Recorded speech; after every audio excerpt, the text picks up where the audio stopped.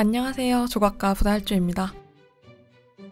저는 대학 전공이 조각과 관련된 과였기 때문에 이런 간단한 조각도로 만드는 조각 따위는 누워서 떡 먹기라고 생각했어요. 그렇게 생각했다는 것은 실제로 누워서 떡 먹기가 아니었다는 말입니다.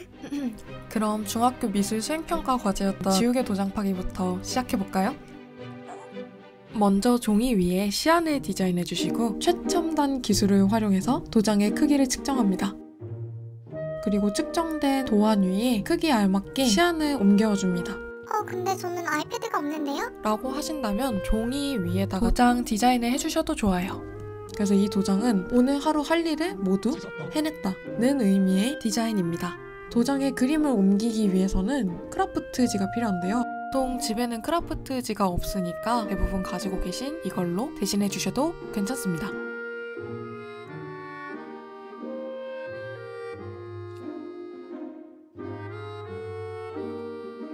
막 비벼.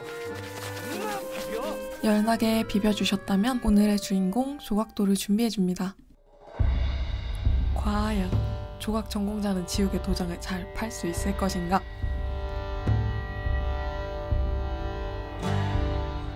저는 돌도 깎아봤기 때문에 아 요런 거 따위는 가볍게 깎아낼 수 있다는 거죠.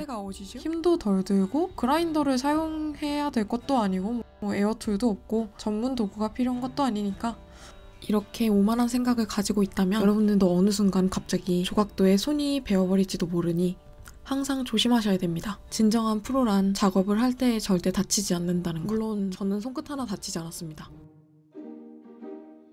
지우개 반죽을 가지고 남아있는 흑연들과 지우개 찌꺼기들을 덜어줍니다.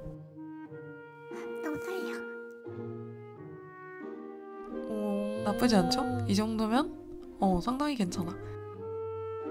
이제 지우개로 어느 정도 손풀기가 끝났으니까 자 다음 타자는 거즘 10년 만에 조우한 빨래비누입니다.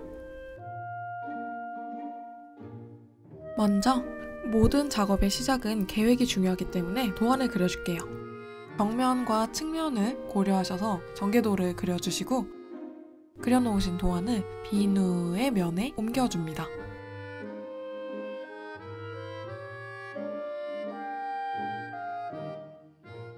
비누가 어렵게 느껴지신다면 고구마를 쓰시는 것도 방법이에요. 하지만 저는 계획했던 대로 비누에 시안을 올려주도록 하겠습니다. 저는 왠지 이제 제 주제를 알 것 같기 때문에 부조 먼저 해보도록 하겠습니다. 생각해 두신 정면 도안을 비누 위에 올려주셨다면 필요 없는 부분들을 모조리 깎아줍니다.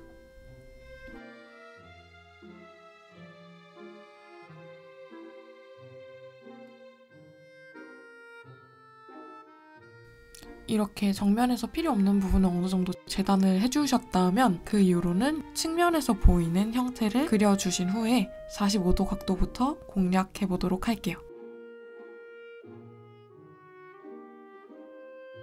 제가 중학교 때 처음 조각도를 가지고 조각이라는 것을 해봤던 것 같은데 그때는 제가 손을 만들었었거든요. 그때는 꽤잘 만들었던 것 같은데 어째 나이가 들수록 점점 퇴화하는 것 같습니다.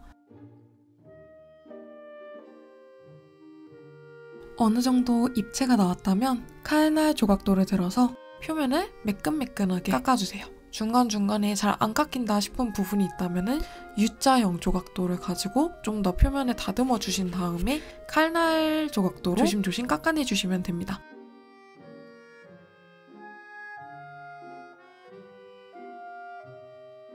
좋아요. 질감이 완전 비누 같아졌네요. 비누니까 당연한 거지. 아무튼 이렇게 이목구비 형태를 잡아주시고 나면 이 가루 쓰레기들은 제 자존심인지 아니면은 제 오만함인지 모르겠습니다. 오늘의 결론. 조각 전공자가 깎아도 비누와 지우개는 어렵다. 안녕.